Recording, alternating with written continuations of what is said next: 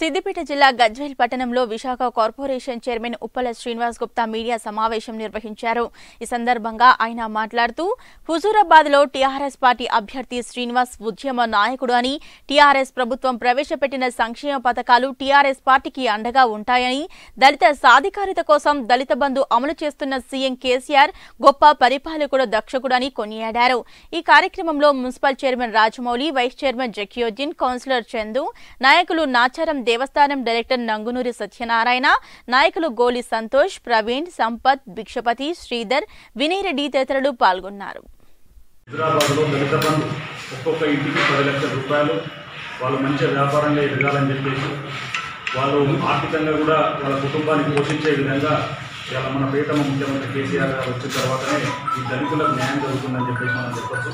పది లక్షల రూపాయలు కూడా వాళ్ళ అకౌంట్లోనే నేరుగా పడ్డట్టు మధ్యలో మీడియేటర్ ఎవరు లోకల్ నాయకులు ఉండరు ఎవరు ఉండరు ఇది ఒక మంచి స్కీము.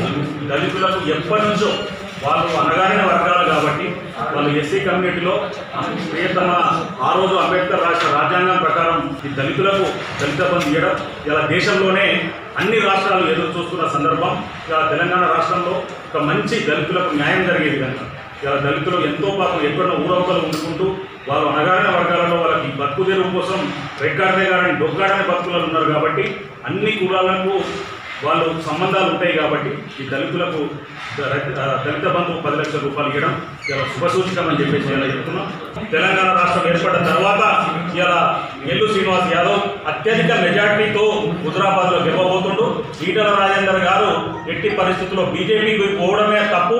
ఒకవేళ ఆయనకు రెండు సార్లు మంత్రి ఇవ్వడము నాలుగు సార్లు ఐదు సార్లు ఎమ్మెల్యే ఇవ్వడము ఆయనకు ఒక తమ్ముళ్ళాగా చూసుకున్న కేసీఆర్ గారికి వెన్నుపోటు వచ్చిన ఈటల రాజేందరు ప్రజలంతా చీకొడతారు హుజరాబాద్ కాన్స్టిట్యూన్స్లో.